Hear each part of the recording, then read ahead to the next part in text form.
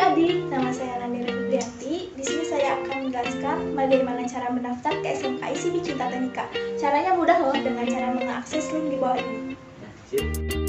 Setelah mengakses link di bawah ini, akan muncul tampilan formulir yang harus diisi oleh adik-adik. Diisi dengan lengkap ya.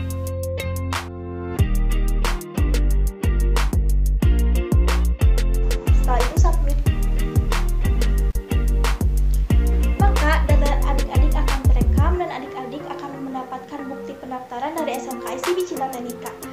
Mudah kan? Tunggu apa lagi? Ayo segera gabung ke SMK ICB Cinta Teknika. SMK ICB Cinta Teknika, mantap!